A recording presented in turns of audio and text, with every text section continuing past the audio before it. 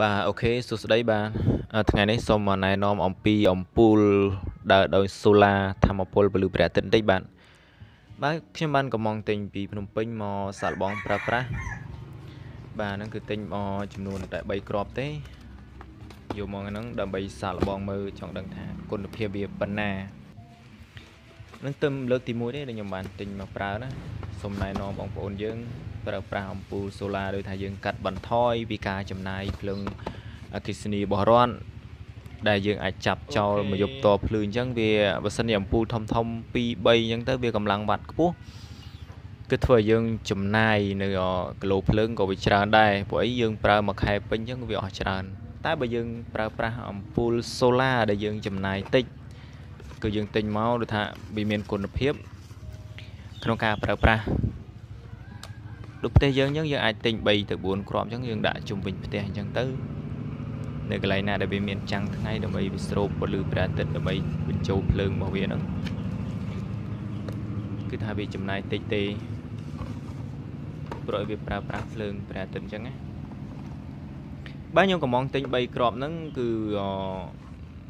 តម្លៃដើមគេ promotion ហ្នឹងគឺតែ15ដុល្លារទេ3ហ្នឹង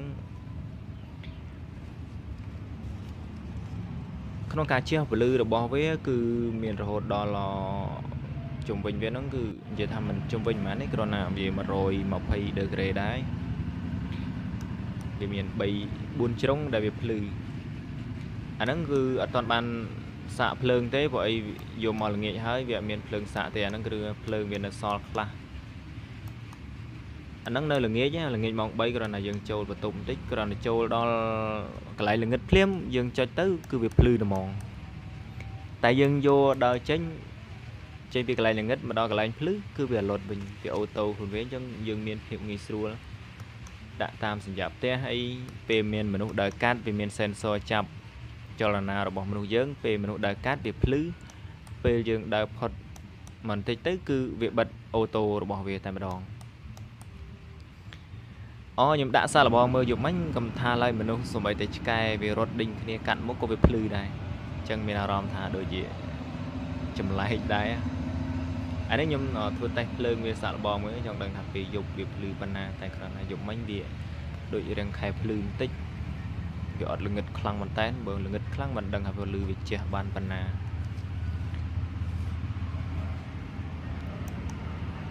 បាទគ្រាន់តែមើលប៉ុណ្ណឹងក៏ដឹងថាភ្លឺខ្លាំងដែរ បងប្អូនយើងគួរតែទិញឲ្យព្រោះអីផ្ទះ